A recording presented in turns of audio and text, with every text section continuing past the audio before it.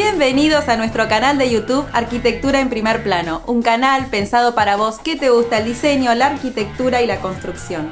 Hoy tenemos en nuestra sección H por B en la obra a Darío Aguilera que nos va a contar cómo resolver un problema de humedad.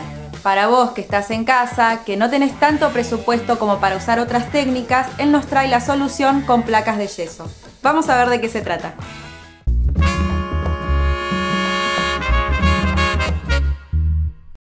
Hola, eh, mi nombre es Darío Aguilera y me dedico a la construcción en seco. Y en este, en este caso les quería mostrar cómo hacer un revestimiento para eh, tapar esta humedad con Durlock y con perfiles de 35. Eh, bueno, lo primero que habría que fijar es el tema de la altura, que definimos una altura de 95 centímetros. Final para eso normalmente bueno, se utiliza un nivel de mano, en este caso voy a usar un nivel láser que va pegado a la pared, que tiene un imán y queda fijo ahí. Definimos la, altura ya y lo hacemos mirar al nivel de la marca, que es de 95 centímetros. Entonces yo en base a ese nivel voy a ir cortando los perfiles. Esto es una solera de 35. Esto iría en la parte de arriba. Lo presentamos ahí y lo que hacemos ahora es preparar las fijaciones que normalmente se fijan con estos tarugos de 8 que son con tope para que no se meta mucho en la pared y va con los tornillos de, de 8 previamente a fijar la solera de arriba habría que sacar la medida del montante que va a la pared que es de 95 centímetros. Bueno, este es un montante de 35, a diferencia de la solera, este montante tiene unos nervios eh, para la parte estructural. O sea, esto normalmente va verticalmente y la solera van horizontalmente. Bueno, así que vamos a cortarlo a 95 centímetros con una tijera para chapa. Se marca 95 y se hace el corte. Se hace un corte arriba, un corte abajo se dobla y se pasa la tijera. Este montante hay que fijarlo acá a la pared.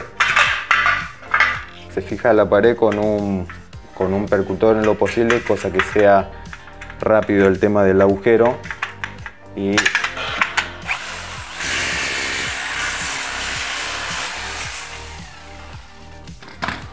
has hecho el agujero, se coloca el tarugo, se le da un golpecito se ajusta con la máquina. Otro abajo.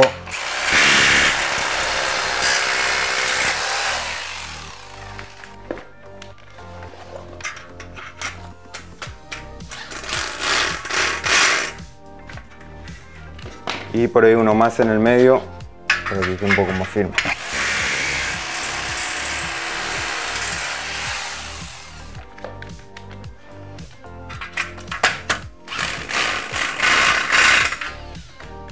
Bueno, una vez fijado el montante de 35 a la pared, se coloca la solera de 35 al piso.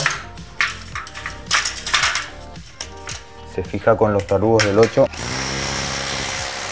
Acá normalmente yo suelo poner tacos a cada 60 centímetros más o menos.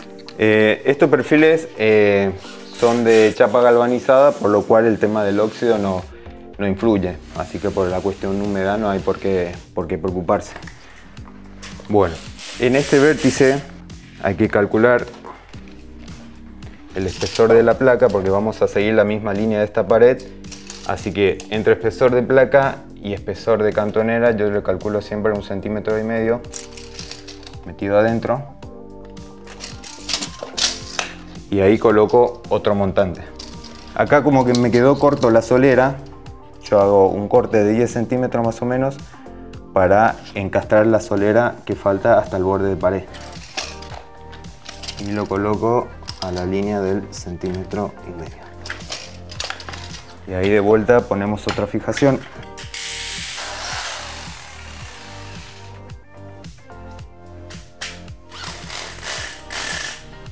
Ahora lo que tenemos que hacer es poner el montante este que va al borde a 94 con el resto que quedó del otro pedazo. Medimos los 94, una marca, marca abajo y se dobla. Yo en este caso, para meter un tarugo de 8 contra la pared, le hago una mueca, lo abro un poco, lo encastro ahí al borde, lo coloco en el centímetro y medio y le pongo otro tarugo.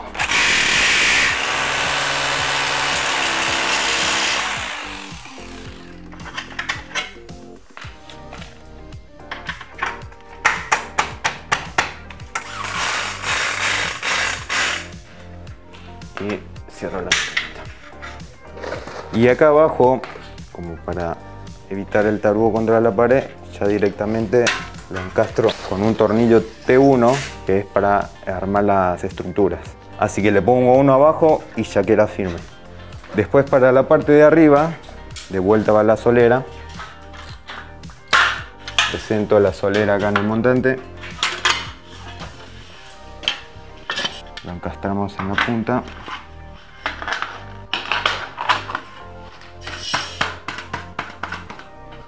Dejamos ahí bien la línea.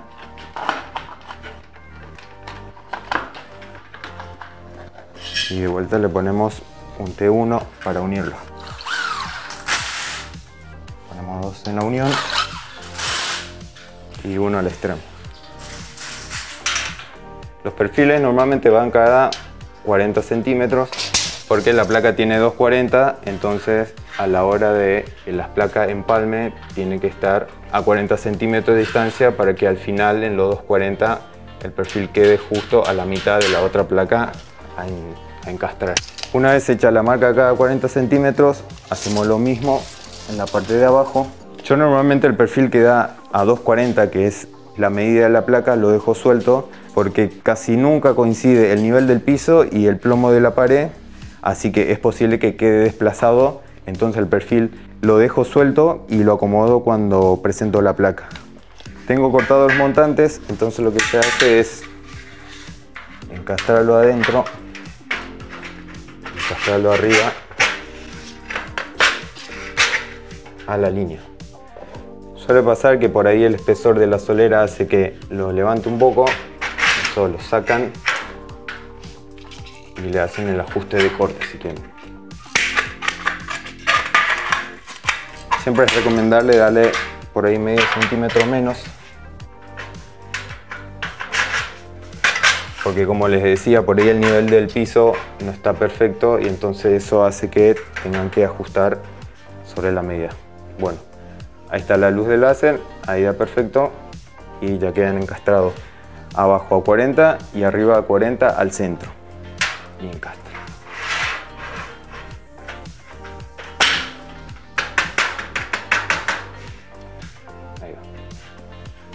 Bueno, y así hasta completar toda la hilera de, la pared.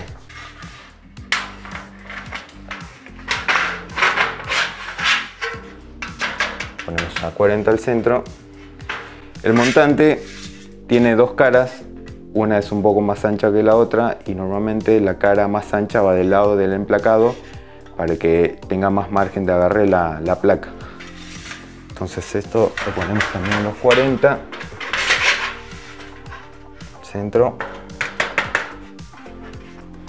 Algunas veces, eh, como para aprovechar los pedazos, también existe la opción de encastrarlos, que la cara más, más ancha agarra a la cara más fina, entonces le hace una presión ahí y ahí quedan encastrados como para aprovechar el material. Ahí entonces se le pone dos T1 y se mide y se corta lo necesario. En este caso lo presento, corto lo necesario, una marca.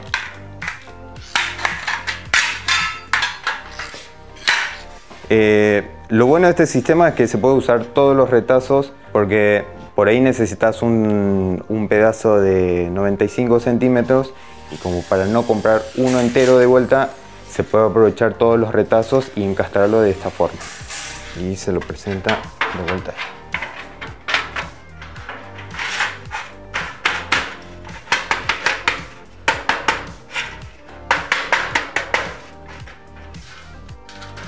Ese perfil está a 2 metros. El de 240, como les dije, vamos a cortarlo y vamos a dejarlo presentado hasta que yo corte la placa y vea si por ahí hay una diferencia de nivel y plomo. Así que vamos a cortar el último montante que va ahí. Cortamos a 94 y medio.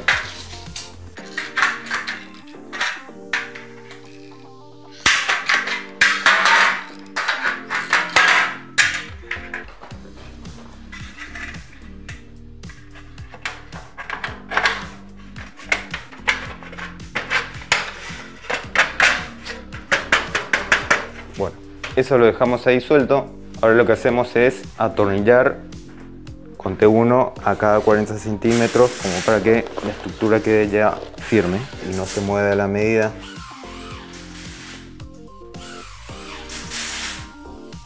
Seguimos con abajo. También en la marca los 40 al centro del perfil. Bueno, ahí tenemos presentada la estructura. Yo en este caso, como del otro lado está el, baño y hay caños. Voy a tratar de poner eh, la mínima cantidad de tarugos porque por ahí existe el riesgo de que agarremos un caño y lo, perforemos. Así que yo para reforzar esto voy a hacer un ángulo, un de solera. Yo lo presento de la parte de atrás del montante, le hago una marca al filo de fuera del montante. En esa marca yo le hago una marca con la tijera hago otra y la doblo para adentro así. Y después le hago otra marca de más o menos 5 o 6 centímetros. Lo doblo. Con el montante no lo puedo hacer porque el montante tiene un labio interior que hace que no se pueda doblar así. Entonces una vez cortado este ángulo se presenta en la parte de atrás se pone un tarugo acá y un tornillo T1 acá para rigidizar la estructura. Ponemos el tarugo, le damos un golpecito con la máquina hasta que entre a tope y ahí lo fijamos. Bueno, una vez está fijo, lo que hay que hacer es fijar la estructura con el refuerzo del ángulo y para eso se le pone un T1 de costado. Entonces ya toda la estructura queda agarrada. Yo en este caso, como les decía, voy a poner dos soportes nada más por el tema de que hay caños, uno ahí y otro acá. Golpecito dentro y atornillamos.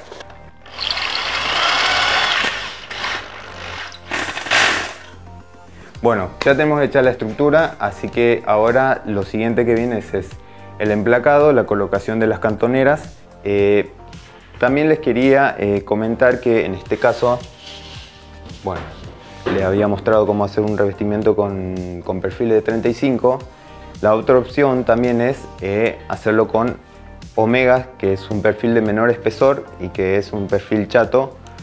Pero en este caso, como como la clienta quería posar los cuadros acá arriba, hicimos con perfil de 35 como para darle un espesor final de 5 centímetros.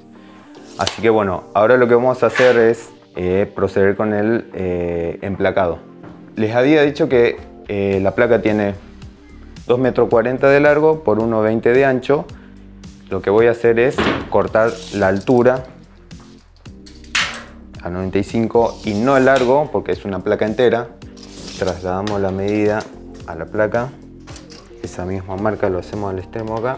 Y con la ayuda de una chocla o tiralíneas, esto sirve para marcar la línea para el corte, se apoya en el nivel de la marca de los 95, lo dejamos tenso, lo apoyamos sobre la línea de los 95 y le damos un tirón y te marca toda la línea a cortar. Bueno, antes de cortar, también le quería hablar eh, sobre las diferentes eh, placas. Eh, hay varios tipos. En este caso, esta es la placa verde que es para la humedad. Después está la placa blanca, que es una placa que se usa en, divisiones, en paredes normales, que son de 12,5 al igual que esta. Después está la placa de 9,5, que son normalmente para cielos rasos. Y está también la placa inífuga, que es una placa de color rosadito claro, que normalmente se utiliza en sectores como eh, fondo de cocina, por ejemplo, en el nicho de la cocina donde va a ir una cocina. Así que bueno, vamos a proceder con el tema del corte de la placa. Se hace con, normalmente con una trincheta, el tipo industrial. Se usa esta que tiene una, una hoja corta y dura. Y bueno, se apoya en la marca, hacemos un poco de presión y tratamos de llevarla sobre la línea. Le damos presión, así la hoja marca la placa. Una vez marcada, con una presión un poco fuerte, le damos un golpe detrás y la placa quiebra. Entonces pasamos de vuelta a la trincheta y le damos el corte final. Antes de llegar acá, porque por ahí lo que suele pasar es que si no lo sostenes, por ahí se te cae la placa, lo dejo ahí al corte y ya lo quiebra. Bueno, una vez cortado, lo presentamos a la estructura, lo apoyamos y bueno, como le había dicho, hay una diferencia de niveles acá, así que por eso yo dejé este montante suelto, así yo lo corrijo y lo ubico bien al centro de la placa, arriba y abajo. Para que después la otra placa eh, que necesito acá para completar la pared pueda también apoyar el tornillo a mitad de, de montante. Una vez presentado, yo traslado la línea de los 40 centímetros de montante acá arriba de la solera para saber dónde están los perfiles. Entonces es la línea que voy a tener para ir metiendo los tornillos. Que estos tornillos son los tornillos T2 punta aguja, los cuales vamos a usar para el emplacado. Y lo atornillamos a la solera de arriba. Para que ya lo pueda soltar y seguir trabajando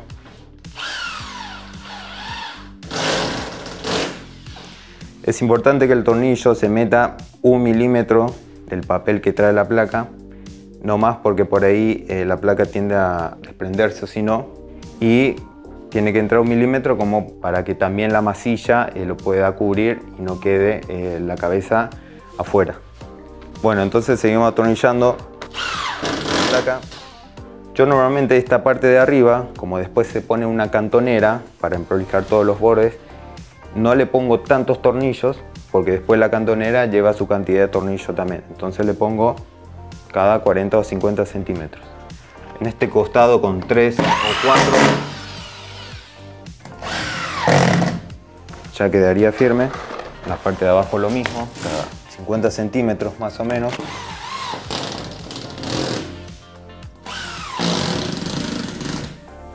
Bueno, ahí están puestos los tornillos en toda la parte perimetral, arriba, abajo y en los costados. Así que ahora lo que vamos a hacer es poner los tornillos a los 40 centímetros donde están los montantes.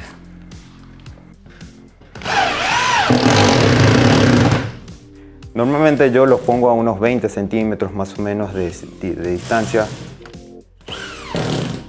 La otra opción que tienen también para darle a los tornillos es marcar los 40 centímetros arriba y abajo tirarlo en la, línea y llevar la línea de los tornillos con la marca.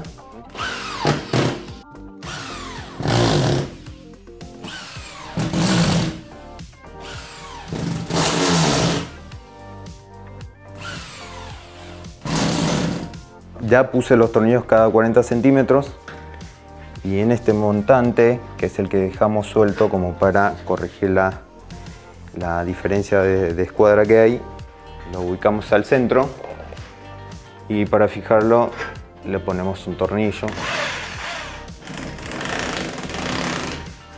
Entonces queda ya firme la línea donde tiene que ir. Ponemos uno abajo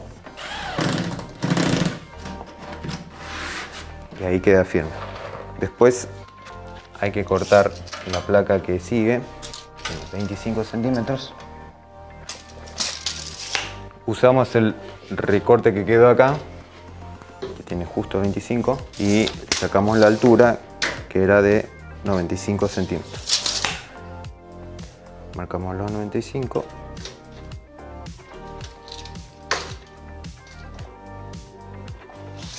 Y en este caso, como es corto el tramo a cortar, yo le presento la cinta, lo marco con el lápiz.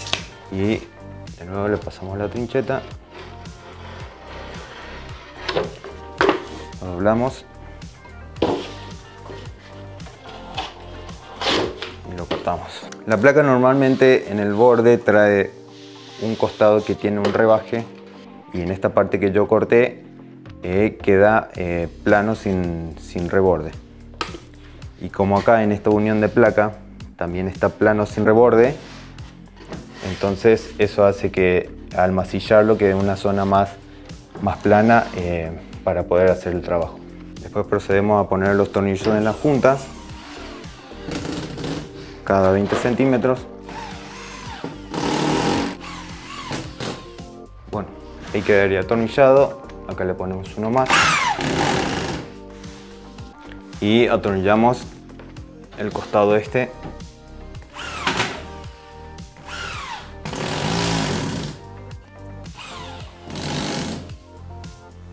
Ahí quedaría todo emplacado con los tornillos cada 20 centímetros a los montantes que están a cada 40 bueno en esta parte de arriba lo que se hace ahora es si quedó una mínima diferencia de placa y montante refilarlo con un serruchín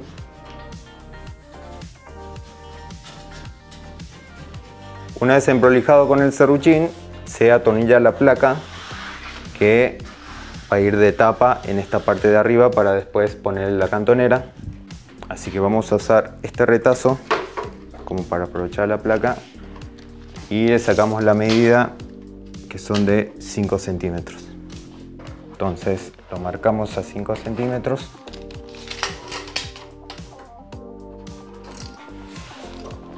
abajo chocla la marca, lo extendemos hasta la otra marca y estiramos. Y procedemos a marcar la placa.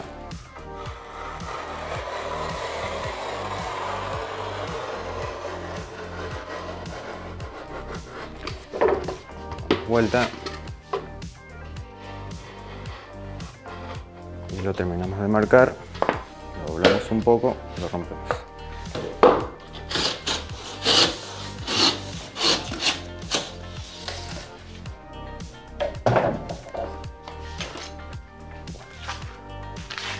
el corte hecho, presentamos arriba, dejamos bien a la línea de la pared acá.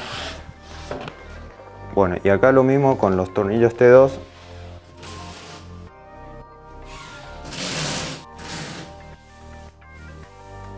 Bueno, para continuar la línea se saca la medida que es de 1,20 y por el mismo espesor que son de 5 centímetros para seguir cortando la placa. Marcamos 1.20, 1.20 y lo marcamos con la trincheta.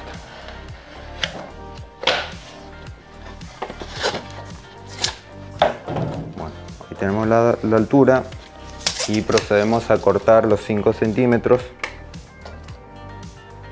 Como los 5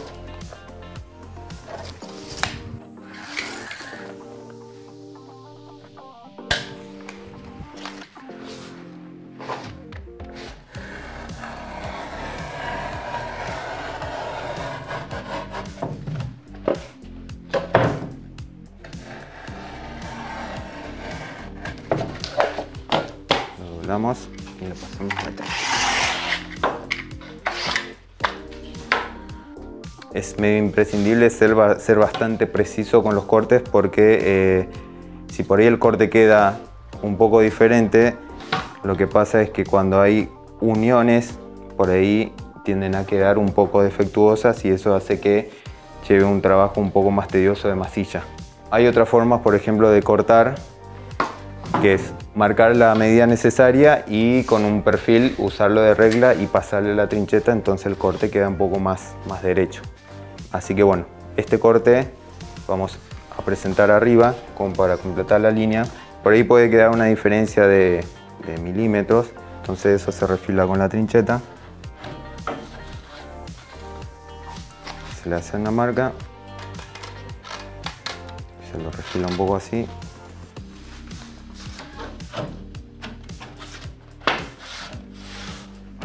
y ahí queda la línea pareja. Y también se le pone tornillos arriba para fijar este pedazo que falta. Bueno, de este lado ya estaría el emplacado de la parte de arriba y la parte de abajo lo que nos queda es el costado este que da contra la pared. Bueno, con este retazo que sobró como para aprovecharlo, lo presentamos bien la línea como para sacarle la medida justa. Con un lápiz lo marcamos arriba, y colocamos todo este lateral de arriba abajo y ya tenemos la línea de corte. Lo que hacemos es pasar la trincheta a la línea de corte de arriba, lo doblamos y lo cortamos. Lo mismo de este lado.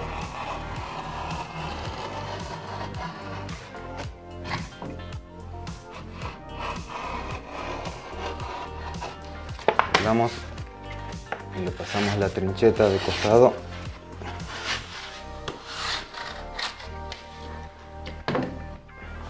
Y ahí tenemos el corte. Normalmente la placa se corta de este lado del papel pero en este caso como por ahí para ahorrar un poco de tiempo eh, lo presentamos de este lado e hicimos la marca ahí para eh, hacer el corte con la trincheta pero normalmente la placa siempre se corta de este lado. Esto es lo mismo, una vez bien presentado ahí a línea, eh, lo que yo hago es siempre dejarle 1 o 2 milímetros con referencia de la placa a la pared, cosa que cuando se llena con la masilla compense la, la diferencia esa que hay. Acá con que pongan 4 es suficiente. Ahora lo que hay que hacer es poner las cantoneras que la cantonera es un perfil de terminación para que todos esos ángulos irregulares eh, queden prolijos.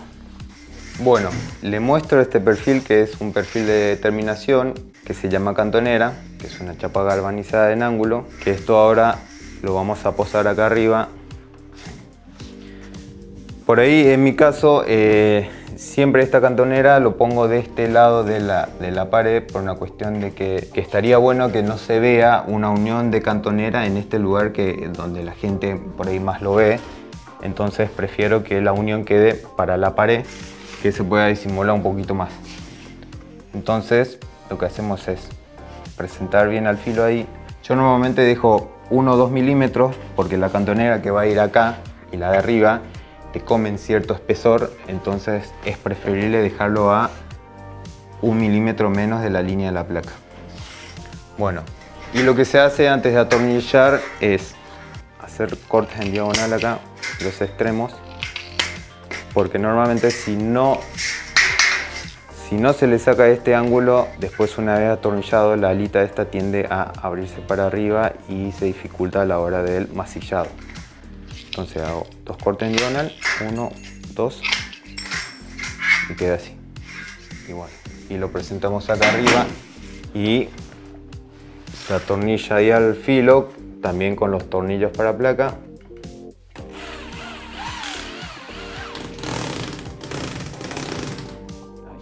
También ponemos un tornillo en el extremo y ya queda fijo podemos ir poniendo el láser en el filo de abajo de la cantonera como para ir llevando la línea. Entonces vemos que apoyando la cantonera al, filo de la luz, entonces lleva una terminación y una línea perfecta.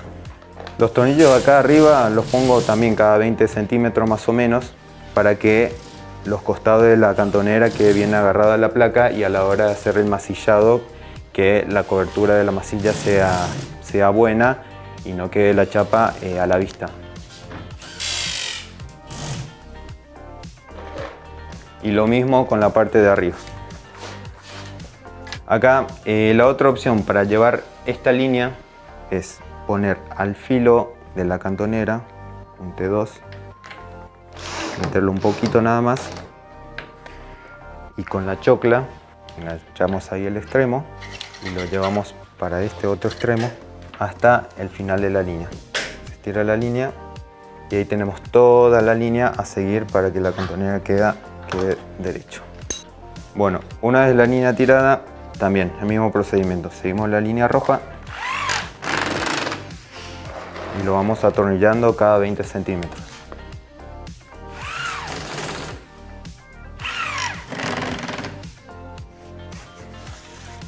Bueno, una vez puestos los tornillos y fijándose de que por ahí no falten algunos lugares, por ahí con un golpecito así y si hace un ruido, por ahí le falta un tornillo y se lo colocamos. Ahora lo que tenemos que hacer es poner la cartonera de este costado. Nos fijamos este costado de que quede bien refilado la placa con la línea de la otra placa y lo rebajamos con el serruchín.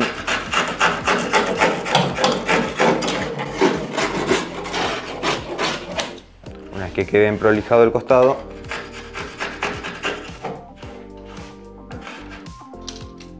le sacamos la altura y recuerden de darle 1 o 2 milímetros antes de la línea final. En este caso serían de 96 y medio así que le doy 96,7 milímetros. Se engancha la cinta así y le doy la media 96,7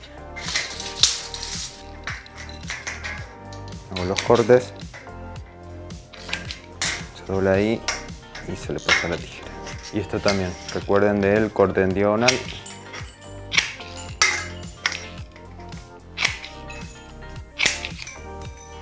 Lo que también es, eh, hago es doblar un poquito para adentro, como para que este nervio quede un poquito más alto que el borde, para cuando se haga la carga de masilla quede bien parejo.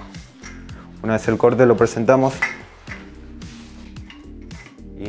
lo que hago es encastrar este filo adentro y apoyarlo ahí. Entonces queda bien angulado las puntas. También los T2 cada 20 centímetros.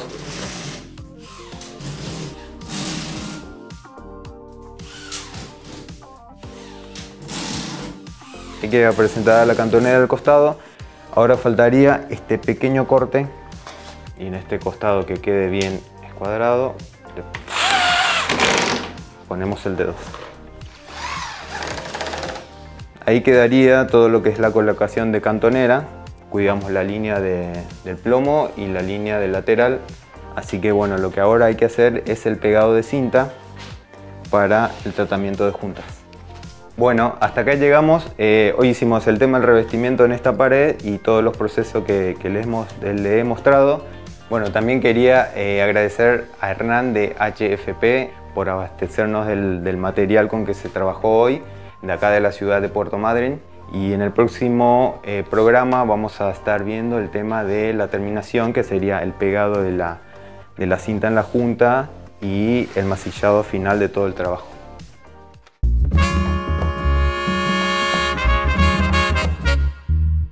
Muchas gracias por llegar al final de nuestro video. Recordá que en nuestro canal tenés más de 450 videos con todos los temas que te interesan de arquitectura, diseño y construcción. Así que dale like, compartilo y suscríbete a nuestro canal, así podemos seguir generando contenido para vos.